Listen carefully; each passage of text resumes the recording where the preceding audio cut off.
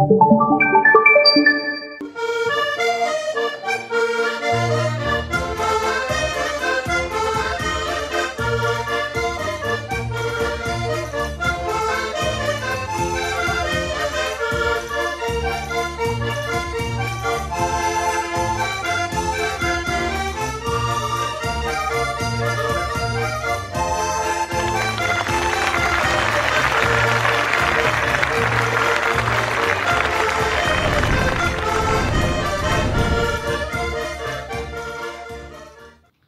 pessoal, tudo bem com vocês? Aqui é Fernanda, diretamente de Portugal, para o canal Pet Talk, no quadro Todo Dia Dia de Embalagem.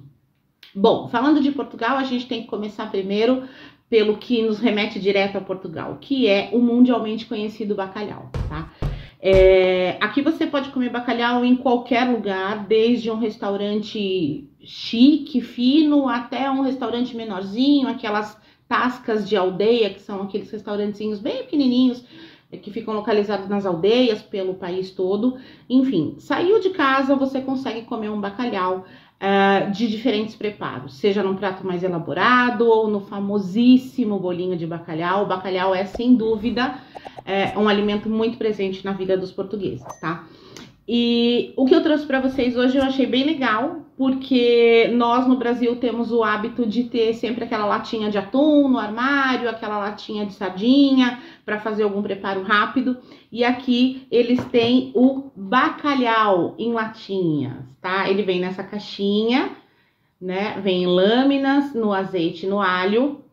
Eu deixei até a latinha já fora aqui para vocês verem, tá? É uma latinha muito parecida com a nossa de sardinha, com aquele dispositivo para abrir. Então você abre, o bacalhauzinho tá aqui confitado com azeite, com alho e você pode saborear a qualquer hora do dia.